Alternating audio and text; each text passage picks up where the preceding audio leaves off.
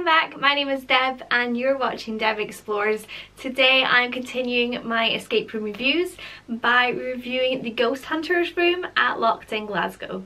This room is recommended for larger groups um, of three or more. We played with the minimum pretty much of three um, with myself, Debbie who I have played a few rooms with now in Scotland and Katie who this was her first time playing with us. So we uh we made it quite difficult for ourselves if you are a group that has been working together for a long time then three is probably a number you could manage with um, or if you're three enthusiasts that are very used to working together or um, have done a lot of escape rooms at least um, cumulatively together. Larger groups are probably needed even just for extra sets of eyes in this room.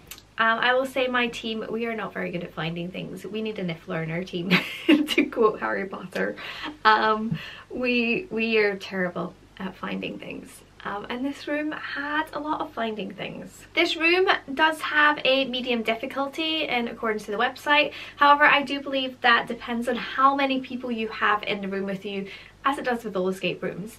Um, the witch house that we've already done at this location was also medium difficulty, but I would find that extremely um, much easier than this room personally. Um, but everyone has different strengths, everyone um, finds different things easy or difficult, so it is all down to um, personal preference and who you are as a person and what your strengths are. This room yet does not have an escape rate percentage. However, we were told it is the hardest game that they do have um, out of the four that they have at their location at the moment.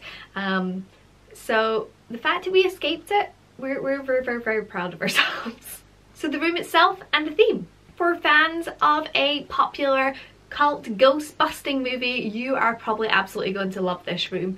Um, it is set in a laboratory but it's not too frankenstein as you could go in a laboratory theme um, but there are some really pretty set pieces um, some really extravagant set pieces that i don't want to spoil it. It was just i loved it. My little nerdy self had an absolute super time in this room. Um, I had a great time. My only issue is it was a little bit frustrating with the sheer amount of props in the room um, and the sheer amount of set and scenery. Um, though I don't know if condensed down it would have had the same atmosphere and the same immersion to it at all parts of the room were quite dark.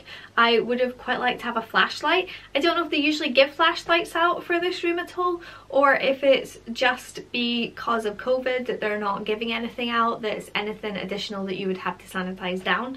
Um, but personally I just found um, and the other two members of my team found some areas just a little bit dark to be able to see and uh, we found ourselves sort of searching with our hands more than our eyes in some areas and um, taking parts of puzzles into a light to be able to see what to do because we struggled in certain areas a little bit. But that did not take it away from the atmosphere. It didn't take it away from the puzzles or the room itself. Um, I wouldn't put it as a negative. Um, just it would have been a little bit easier to have that, that addition. And I like a flashlight. There's a lot of finding in this room. Uh, a lot of it and that's not my strength or my team's strength unfortunately in this escape room. Um, if you're going to do a room where you need to find something I'm probably not the person to take along with you. Um, I will eventually find something but I'm I'm not the best at it. So we did find it a little bit difficult in that respect. In such a large space in such a large room that this was um, it was a very big room so definitely with an extra person that would be easier. Also if you're bringing people along if you're bringing people along maybe um, that haven't seen a cult movie with ghost busting people in it um, then maybe try and educate them a little bit. Um, nothing against my friends but shouting certain references across a room um, looking for things found it a little bit more difficult when they weren't entirely sure that reference or what they were looking for. There's a variety of different puzzles in this room and very, very few padlocks actually. Most of the puzzles in this room are tech operated um, or don't involve padlocks which was something new to see. I did enjoy it. Um, I do quite enjoy a padlock or two every so often so for us it did make it a little bit difficult of where to start in the room. Um, I've now learned things and remember things that I definitely will now do when I go into escape rooms in the future again. But we did find it a little bit difficult to find our feet when we came in and just be able to pick up a pace and um, understand where the room was going to start with. Difficulty. This is the hardest room at Locked in Glasgow as we were told and as I have mentioned before and as we hit 59 minutes and the seconds we're counting down preciously I do not disagree that this is the most difficult room at Locked in Glasgow. As the seconds ticked down, my heart was beating fast and there was a lot of adrenaline, but there was also that great adrenaline and I don't want to spoil it for anyone how our game ended in the last minute, but I was like a child and I was so happy and I think this is the first time in Glasgow or the first time in Scotland doing a game where I have come out with that crazy buzz um, of escaping a room. And it was definitely it definitely made me smile. I definitely love this room. I love the design of this room despite not having a flashlight or torch.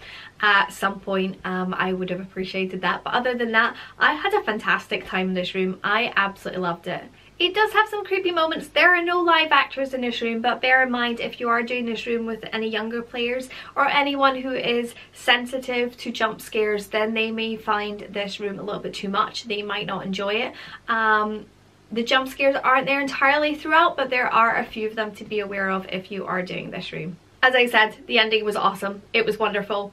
Um, I had a fantastic time as we reached that climax of the game and also as the time was getting so so close to the 60 minutes um, that was our cap for this game so yes um, it was fantastic overall we did make it out I think with about 20 seconds left to spare but the adrenaline pumped. Everyone absolutely loved this game. Uh, my friend katie enjoyed this as her first game and we've had her on our team since doing more games around the country.